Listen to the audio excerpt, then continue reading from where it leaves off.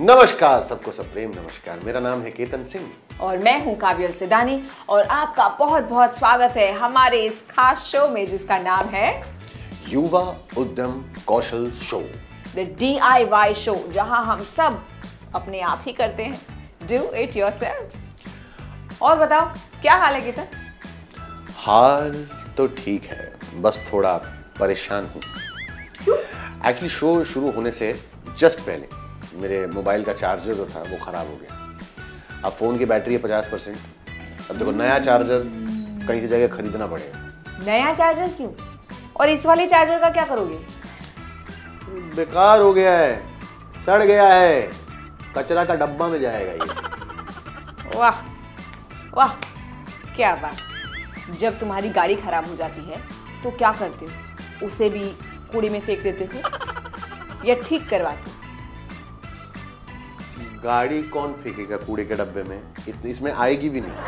Exactly exactly. हर चीज़ अगर हम कूड़े में फेंकने लगे ना तो हम कूड़ा किंग हो जाएँगे। वैसे हम इंसान एक्चुअली में कूड़ा किंग हैं। नहीं रियली आप मैं हम सब एक दिन में इतना कचरा जनरेट करते हैं और उसे फेंकते हैं बिना ये सोचे कि ये कचरा का होगा क्या। बिल्कुल सही। वैसे तो मैं एक्सपर्ट नहीं हूँ बट अगर इंटरनेट और न्यूज़ देखो तो आप हैरान रह जाओगे। क्या आपको पता है कि इंडिया पूरे वर्ल्ड में ई वेस्ट यानी कि इलेक्ट्रॉनिक वेस्ट जनरेट करने में तीसरे नंबर पर है। तो मेरे को तो यकीन नहीं होता। मुझे यकीन सुना मैंने और मुझे यकीन नहीं हुआ। इंडिया में हर साल 9.6 मिलियन टन यानी कि छियानवे लाख टन प्लास्टिक कचरा पैदा होता है। ये इतना है कि हम चाहें तो पूरे के पूरे देश को प्लास्टिक से कवर ढक सकते हैं। कसम से ये सुनने के बाद मैंने अब बिल्कुल प्लास्टिक यूज़ करने का निर्णय छोड़ दिया मैं यूज़ ही नहीं करूँगा। आप भी प्रॉमिस करो प्रॉमिस करो, बोलो प्रॉमिस करो। हर प्रॉमिस मैं प्रॉमिस करती पर हम हमेशा से ऐसे नहीं थे। मेरे और आपके जो ग्रैंड पेरेंट्स का टाइम था ना, उस पर प्लास्टिक शायद एक्चुअली इतना था भी नहीं। खाने के लिए भी सस्टेनेबल पैकेजिंग या ग्लासेस का यूज़ होता था। सामान कैरी करने के लिए भी जूट या कपड़े की थैली का इस्तेमाल होता था। पहले ना हम चीज़ों को ठीक कर लेते थे यार। सही कहा।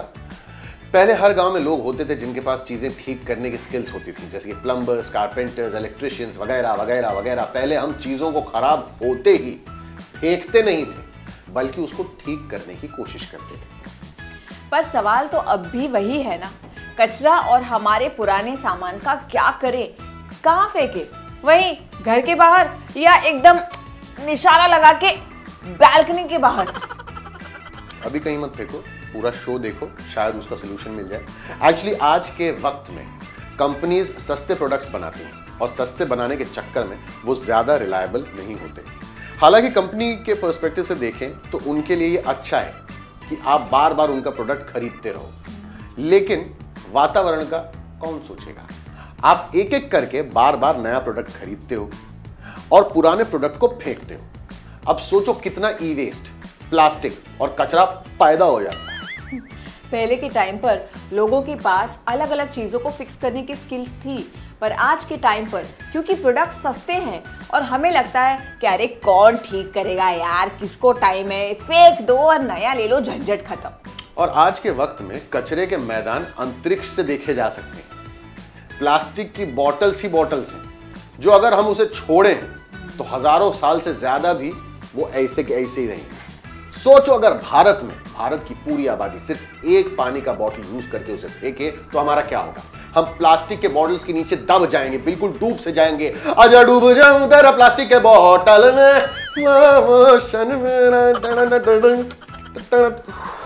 क्या डूब गया?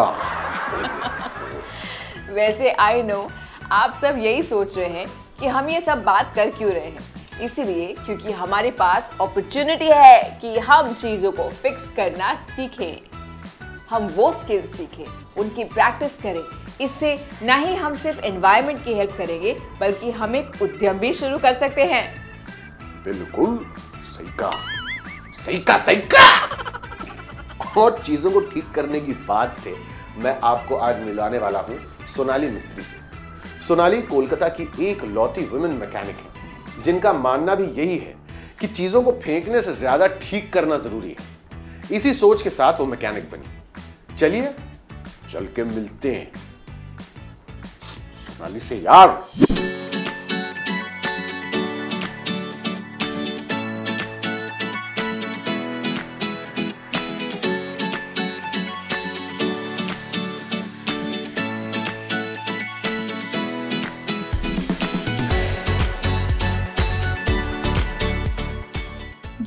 क्लास नाइन्थ में पढ़ती थी, तब मेरी शादी हो गई। मैं दरिया गई और श्राइन में शादी कर ली। एक बाइक में कई तरह के काम होते हैं, जैसे कि सर्विसिंग करना, क्लच की वायरिंग, चेन सॉकेट को ठीक करना, क्लच प्लेट लगाना, पिस्टन वॉल्व लगाना, लाइट पर काम करने जैसे कई काम होते हैं। वह सारे काम मैं करती हूँ और यह मुझे काफ़ी पसंद है। यह थोड़ा मुश्किल काम है, जो दूसरी औरत नहीं कर सकती है। तो मुझे यह करना बेहद पसंद है। मुझे ऐसा लगता है कि कार्य क्षेत्र में एक लड़का और एक लड़की में कोई अंतर नहीं है। आदमी थोड़े ज़्यादा मज़बूत होते हैं और औरतों से, लेकिन कुछ समय काम करने के बाद मुझे समझ आया कि मैं भी वह सब कर सकती हूँ, जो एक आदमी कर सकता है। और जो लड़कियाँ मैकेनिक का काम सीखना चाहती हैं वे उन्हें आसानी से कर सकती हैं। वाह क्या बात है सोनाली जी। बड़ा अच्छा लगा आपकी कहानी देखकर। कम उम्र में शादी हो जाने के बाद भी आपने अपने सपनों को मरने नहीं दिया। वेल डन गर्ल और उन्होंने जो एक बात बोली ना कि लड़का लड़की में कोई फ़र्क नहीं है। जो काम एक लड़का कर सकता है वो एक लड़की भी कर सकती है। उस बात के लिए और अब, जब भी मैं कोलकाता आया और मेरी बाइक खराब हुई तो मुझे एग्जैक्टली exactly पता है उसे रिपेयर करवाने के लिए कहाँ जाना है। सोनाली के पास। अगर एक तरफ़ आप बिज़ी हैं लोगों के सामान को ठीक करने में, वहीं दूसरी तरफ़ आप ये भी प्लान कर सकते हैं कि लोगों के जिन आइटम्स को आप रिपेयर कर रहे हो, उसको कैसे आप किसी सस्टेनेबल मटेरियल से रिप्लेस कर सकते हैं या फिर कोई उसका ऐसा उपाय निकाल सकते हैं जिससे वो काफ़ी लंबे समय तक खराब न हो। इससे शायद वो कचरे के मैदान में अपनी जगह बनाने से बच जाए। बिल्कुल सही। आप चाहो तो एक ऑनलाइन एंटरप्राइज स्टार्ट कर सकते हो जहाँ मशीन के पार्ट्स को आप ऑनलाइन लोगों के साथ शेयर कर सकते हो या फिर आप पुराने आइटम्स को फिक्स करके उनको कम प्राइस में लोगों को बेच सकते हो। आप अपने repairing and fixing experience and skills को यूज़ करके कुछ नए प्रोडक्ट्स इनोवेट कर सकते हो, जो कि शायद ज़्यादा सस्टेनेबल हो और विश्वसनीय भी बिल्कुल। और जहाँ हम चीज़ों को फिक्स करने की बात कर रहे हैं, मैं बताना चाहती हूँ कि इसमें अच्छी बात यह है कि आपको चीज़ों को ठीक करने का एंटरप्राइज स्टार्ट करने के लिए किसी स्टार्टअप कैपिटल की भी ज़रूरत नहीं है। आप ये खुद कर सकते हैं अपने स्किल्स के दम पर। अगर आपको लगता है कि आपको सीखने की ज़रूरत है तो अपनी पर्स्यूएशन स्किल्स यानी किसी को अपनी बात मनवाने वाला कौशल अप्लाई करिए। ऐसे किसी ऑन्टरप्रन्योर के साथ इंटर्नशिप करिए जो इस काम में माहिर हो और आपको भी वो ये काम सिखा सके। सब चीज़ों को फिक्स करना सीखिए। फिर चाहे वो नल ठीक करना हो या बिजली की स्विचेस ठीक करना हो, कोई खराब टीवी हो या फिर कुछ और। बस अपने आप को लिमिट मत करिए कि मैं बस मैं, मैं, मैं तो बस यही करूँगा इससे ज़्यादा कर लूँगा तो मेरे हाथ में मेहंदी लगी है। ऐसा ना करें। और हाँ ऊपर जो मैंने इलेक्ट्रिक स्विचेस की बात की तो उसके लिए वार्निंग ये है कि कभी भी बिना इलेक्ट्रिशियन की मदद के स्विचेस को रिपेयर ना करें। हमेशा एक इलेक्ट्रिशियन की निगरानी में सीखें वरना पता चला कि कोई पूछेगा अरे सॉकेट में बिजली है कि नहीं? आप बोलोगे अभी उंगली डाल के बताता हूँ। एंड यू नो आपके लिए एक और गुड न्यूज़ है कि आने वाले टाइम में फिक्सिंग जॉब्स को रोबोट्स भी रिप्लेस नहीं कर पाएँगे, क्योंकि हर चीज़ जिसको फिक्स करना है, वो अलग है। उसको फिक्स करने की स्किल्स अलग है, उसको ठीक करने का प्रोसेस अलग अलग है। ये ऐसा काम नहीं है जो कोई भी रोबोट आके रेप्लिकेट कर जाए बार बार तो चांसेस ये हैं कि आप टाइम के साथ, वक्त के साथ नई नई चीज़ें ठीक करना सीखते रहें। और तुमने ये पॉइंट एक्चुअली बिल्कुल सही कहा है कि आपको टाइम के साथ साथ नई स्किल सीखनी होंगी। अगर आप एक ही स्किल या किसी एक ही आइटम को फिक्स करने पर स्टक रह जाओगे तो शायद आप इतना ग्रो नहीं कर पाओगे।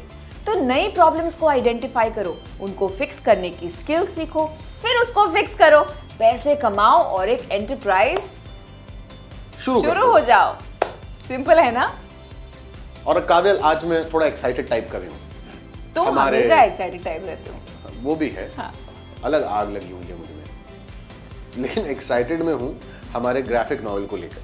क्योंकि वो एक यंग वुमेन टीम के बारे में है जिन्होंने स्टेम यानी कि साइंस टेक्नोलॉजी इंजीनियरिंग और मैथ स्किल्स को कौशल को यूज़ करके चीज़ों को फिक्स करना शुरू किया।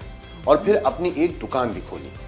और अपने इस छोटे से काम को वो किस तरह से एक बड़े उद्योग में तब्दील करना चाहते हैं वो आप देखेंगे अपने आइडियाज़ को इन्वेस्टर्स को पिच करके उन्होंने भी ऐसा ही किया। और उनके पीछे सालों का एक्सपीरियंस उनकी शॉप के फिक्सिंग ट्रैक रिकॉर्ड्स उनकी बिज़नेस प्लान्स उनकी कैश फ्लो और सबसे इम्पोर्टेंट उनकी महिला टीम के कौशल के दम पर उन्हें फंडिंग भी मिली। उनको अपने आइडियाज़ पर भरोसा था अपनी काबिलियत पर बिल्कुल विश्वास था। और आपको जानकर हैरानी होगी कि उनको अपना आइडिया पिच करने के लिए बस 60 सेकंड मिले थे। 60 सेकंड 60 सेकंड्स। और उन्होंने अपना आइडिया सिर्फ़ 49 सेकंड्स में बेच दिया। उसको कहते हैं मुनाफा। सुनकर ही कितना मोटिवेटिंग लगता है ना? चलिए, देखते हैं हमारे आज का ग्राफिक नॉवल यह टीम वर्क की कहानी है। सामूहिक कार्रवाई तब होती है जब लोगों का एक समूह विशेष रूप से आपके जैसे युवा अपनी अपनी खूबियों के साथ एकजुट होते हैं और अपने आसपास की दुनिया को बदलते हैं। समीन, अयान, रजनी, केली, छोटू और परी की एक दूसरे से गहरी दोस्ती है। वे अपने इलाके के हालातों से खुश नहीं हैं। समीन को लोगों के उपकरणों की मदद करना पसंद है और लोग उसे खुशी खुशी मरम्मत के लिए अपना सामान दे दिया करते हैं। क्योंकि वह जानते हैं कि कुछ ही समय में वह उनकी मरम्मत कर देगी। हालात काबू से बाहर हो जाते हैं जब कुछ स्थानीय गुंडे और कुछ लोग जिन्हें उनसे ईर्ष्या होती है वे मिलकर समीन और उसके मित्रों की उन्नति करते हुए व्यवसाय को बिगाड़ने की योजना बनाते हैं। लेकिन समीन और उसके दोस्त बहुत समझदार हैं और अपने मरम्मत के व्यवसाय को तकनीक का प्रयोग करके बचा लेते हैं और गुंडों को सबक सिखाते हैं। ये दोस्तों का समूह एक प्रतियोगिता में प्रवेश करना चाहता है ताकि वे कुछ पैसे जीत सकें। वे उन पैसों से अपना व्यापार बढ़ाना चाहते हैं। अरे, हमारी वर्कशॉप में आग लग गई है। वे चिल्लाते हैं।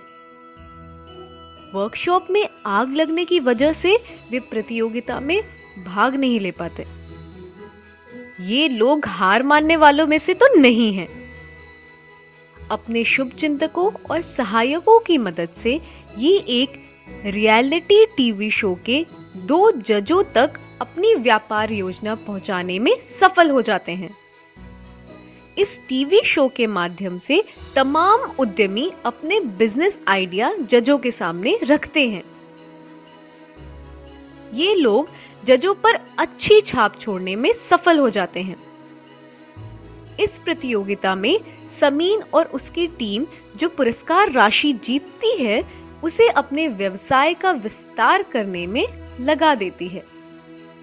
इससे उनके इलाके के बहुत सारे लोगों की मदद होती है, क्योंकि लोगों को नौकरियाँ मिल जाती हैं। आप किस प्रकार का उद्यम अपने दोस्तों के समूह के साथ शुरू करने के बारे में सोच सकते हैं? इसके जवाब के लिए गतिविधि चुनौती को पूरा करें। वाह! ये लोग तो हार मानने वाले नहीं हैं। ये वाली लाइन ना इस ग्राफिक नॉवल की। मुझे सबसे ज़्यादा इंस्पिरेशनल लगी। एकदम मतलब अरे आग और लग गई। दुकान पर आग लग जाने के बावजूद उन्होंने अपनी उम्मीद और अपने आइडिया को मरने नहीं दिया और इन्वेस्टमेंट मिलने के बाद अपने काम को और बड़ा किया और कई लोगों को रोज़गार भी दिया। लड़कियों और महिलाओं के लिए यह ज़रूरी है कि वो लगातार स्टेम कौशल करियर्स और व्यापार के मौके को देखती रहे ढूंढती रहे। क्योंकि ये जो कौशल हैं आपकी ज़िंदगी में कुछ भी करने के लिए आपको तैयार कर देती है। और इन कौशलों की मदद से आप किसी भी काम के लिए पुरुषों जितना वेतन कमा सकती हैं। मैं वास्तव में परास्नातक और पीएचडी करके शिक्षण में जाना चाहती हूँ। मुझे वास्तव में क्षेत्र के रूप में विज्ञान पसंद है। एक उद्यमी होने के नाते मुझे लगता है कि आप जो करना चाहते हैं, उसके लिए मानसिक स्थिरता और समर्पण की बहुत आवश्यकता है। और आप जो करना चाहते हैं और आप जो मानते हैं, उसके लिए अत्यधिक प्रेम होना चाहिए। मैप ऑफ़ मी मेरे जैसे लोगों की मदद कर रहा है। यह बताता है कि सामान्य रूप से जीवन को कैसे जिया जाए। मेरा मतलब है कि अभी बस में मैं एक गायिका के बारे में एक कहानी देख रही थी और यह तथ्य कि आप इसे अपने ऊपर लेते हैं और इसे एक काम के रूप में बहुत प्रभावशाली बनाते हैं। आपको अपने आप को उन चीज़ों से बांधने की ज़रूरत नहीं है जो आप देखते हैं कि दूसरे लोग कर रहे हैं या आप अन्य लोगों को सुनते हैं कि वे आपसे कराना चाहते हैं। यहाँ बहुत सारे विकल्प हैं और तकनीकी रूप से आप यहाँ पर अपनी खुद की नौकरी बना सकते हैं क्योंकि दुनिया के बहुत से काम हैं जो लोग कर रहे हैं, जिसे मैं कभी भी एक बच्चे के रूप में नहीं जानती थी। मैं वास्तव में जानवरों से प्यार करती हूँ। यह सच है कि जानवर मर रहे हैं और जैव विविधता इस तरह के संकट में है। मुझे लगता है कि मुझे इसमें योगदान देना चाहिए। इसलिए मैंने इस क्षेत्र को अपनाया। मैं वास्तव में परिस्थिति की ओर वन्य जीवन में जाना चाहती हूँ। मुझे इस बात की चिंता है कि भारत में भविष्य हमेशा विज्ञान के लिए बहुत ही अनिश्चित है। विशेष रूप से और विशेष रूप से भारत में विज्ञान। आप कभी नहीं जानते कि चीज़ें कहाँ जा रही हैं। रुझान क्या है और यह किस दिशा में जा रही है। किसी भी क्षण यह सिर्फ़ तस्वीर या कुछ और हो सकता है। इसलिए अप्रत्याशितता थोड़ी डरावनी है। मुझे लगता है कि मेरी उम्र किसी के लिए है क्योंकि हमारे आगे बहुत कुछ है। और आप नहीं जानते कि यह हमें कहाँ ले जाएगा। Yes yes yes go girls go I mean don't literally go anywhere लेकिन वो आइडियाज़ लेके आप हमारे पास आइए। अगर आपके पास कोई आइडिया है जिसमें आप स्टेम स्किल्स को यूज़ करके कोई एंटरप्राइज स्टार्ट कर सकते हो और उसके ज़रिए और युवतियों को जॉब दे सकते हो और एनवायरमेंट को बचाने में भागीदार हो सकते हो तो हमें एक छोटी एक मिनट की वीडियो बनाकर व्हाट्सएप पे इस नंबर पर भेज दें। हो सकता है कि हम आपके आइडिया को पूरा करने में आपकी मदद कर सके। और हाँ अगर आपके पास कुछ सवाल हैं तो आप हमें ज़रूर भेजें। और मैं बताना चाहता हूँ कि दो युवाओं ने पहले ही अपने सवाल हमें भेजे हुए हैं। आइए जरा उनके सवाल सुने जाओ। पूछो भाई क्या पूछ रहे थे? Hello DIY youth skills show मेरा नाम निक्की कुमारी है मेरा घर किशनगंज है मैं बारहवीं में पढ़ती हूँ। मैं आपसे एक सवाल करना चाहती हूँ कि क्या सभी व्यवसाय को शुरू करने के लिए योजना बनाना ज़रूरी है? क्या मरम्मत का व्यवसाय शुरू करने के लिए रजिस्ट्रेशन कराना ज़रूरी है? जी हाँ निकी कंपनी रजिस्ट्रेशन बहुत इम्पोर्टेंट है हर बिज़नेस के लिए। Hello D I Y youth skill show मेरा नाम इम्तियाज़ आलम है। मैं बारहवीं क्लास में पढ़ता हूँ। मैं किशनगंज ज़िले का रहने वाला हूँ। मेरा आपसे एक सवाल है। अगर मैं किसी भी प्रतियोगिता परीक्षा में भाग लूँ तो इसकी तैयारी मैं कैसे कर सकता हूँ? अगर मैं खुद का व्यवसाय शुरू करूँ तो इसके लिए मुझे कहाँ से जानकारी मिलेगी?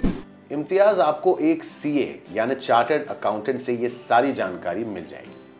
वैसे सच कहूँ तो आज मैं और काबिल कोई ना कोई ऐसा फिक्सिंग वाला कौशल ज़रूर सीखेंगे। हम भी सामान को खराब होने पर फेंकेंगे नहीं बल्कि उसे ठीक करने की कोशिश करेंगे। करेंगे? और तुम चाहो ना तो मुझसे सीख सकते हो। मुझे स्टेम बेस्ड काफ़ी फिक्सिंग स्किल्स ऑलरेडी आती हैं। आई होप मैच फिक्सिंग नहीं आती तुम्हें। चलिए जाने से पहले हम आपको कुछ सवालों के साथ छोड़ते हैं जिसके पहले 500 सही जवाब देने वाले आज का रोमांचक ग्राफिक नॉवल जीत सकते हैं। तो हम खेलना शुरू करेंगे आपके साथ। तो चलिए देखते हैं आज के सवालों के सिलसिले। सबसे पहला सवाल हम इंसानों ने सबसे बड़ी एक कौन सी समस्या को पैदा किया है? हम इंसानों ने सबसे बड़ी एक कौन सी समस्या को पैदा किया है?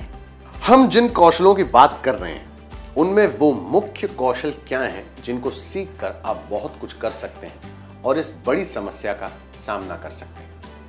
एक बार ये कौशल आपने सीख लिए तो आप उनके ज़रिए और क्या क्या कर सकते हैं? एक बार फिर एक बार ये कौशल जो आपने सीख लिए तो आप उनके ज़रिए और क्या क्या कर सकते हैं? एक इंटर्नशिप दोबारा उत्पन्न होकर आपको ये करने में कैसे मदद कर सकती है? एक इंटर्नशिप दोबारा उत्पन्न होकर आपको ये करने में कैसे मदद कर सकती है? आपके इन कौशलों के होते क्या एक रोबोट से आपका काम आसानी से करवाया जा सकता है।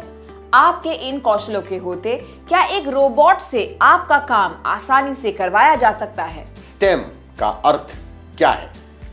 S T E M STEM का अर्थ क्या है? क्या लड़कियाँ स्टेम क्षेत्र की नौकरियाँ कर सकती हैं? क्या स्टेम के आधार पर उनका करियर बन सकता है? और क्या वो स्टेम कौशलों से नए उद्यम शुरू कर सकती हैं? आप अपने जवाब हमें इस फ़ोन नंबर पर भेज सकते हैं, जो आपके स्क्रीन पर फ्लैश हो रहा है। और साथ ही साथ, अगर इस नंबर पर आप फ़ोन नहीं करना चाह रहे, बहुत ज़्यादा अलसा रहे हो तो एक ऐप डाउनलोड कर लीजिए अपने फ़ोन पे। ऐप का नाम है yes app, Y E S S. वहाँ पर अपना जवाब दें। बैठे कहाँ हैं? जवाब दीजिए ना। तो चलिए अब हम चलते हैं आपसे इजाज़त लेते हैं बाद में आपसे मुलाकात होगा हमारा नाम है केतन सिंह। और हम काव्यल सिदानी आपसे मिलेंगे फिर से अगले एपिसोड में हमारे युवा उद्यम कौशल शो पर। तब तक आपका ध्यान रखिएगा स्वस्थ रहिएगा मस्त रहिएगा and bye bye from the two of us सरा भाग काव्यल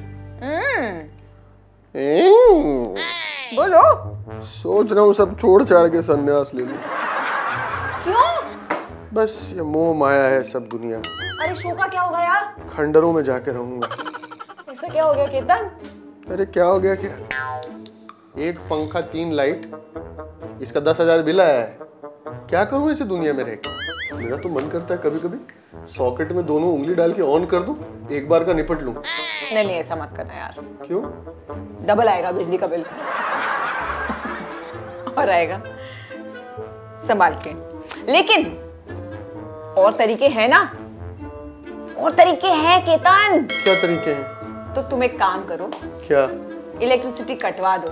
हाँ। और बिजली पैदा करने का कोई दूसरा तरीका सोचो। अच्छा। कल ही मम्मी को कहता हूँ मेरी शादी करा दे। साल भर बाद बेटी होगी उसका नाम रखूँगा बिजली। बिजली पैदा हो गई। बाबूजी जरा धीरे चलो बिजली गिरी यहाँ बिजली गिरी। आप इसके नुस्खों और इसके आइडियाज़ पे मत जाइएगा। बिजली बचाने का और बिजली पैदा करने का एक बेहतरीन तरीका है जो मैं शेयर करूँगी आपके साथ हमारे युवा उद्यम कौशल शो में। आप गैस कर ही सकते हैं। मैं हूँ केतन सिंह। और मैं हूँ काव्य सिदानी। और ये है सोलर पैनल मिलते हैं आपको हमारे अगले एपिसोड में।